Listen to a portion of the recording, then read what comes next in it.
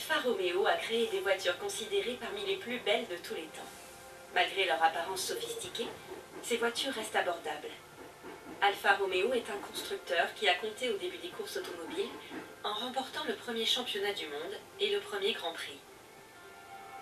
La marque a également été une des premières à adopter la distribution variable, l'injection et les moteurs à double arbre à cam en tête, offrant ainsi un pédigré de course à des voitures de série. Il faut reconnaître une chose à Alfa Romeo, la beauté de ses voitures. Henry Ford lui-même le dit. Lorsqu'une Alfa Romeo passe, je fais chapeau bas. Les amateurs de course ont souvent dit que personne ne peut se dire passionné de voitures s'il n'a jamais possédé d'Alfa Romeo. Leur popularité dépasse de loin le cercle des aficionados. L'Alfa Romeo Spider occupera toujours une place à part dans la culture populaire grâce au grand classique de 1967, le lauréat.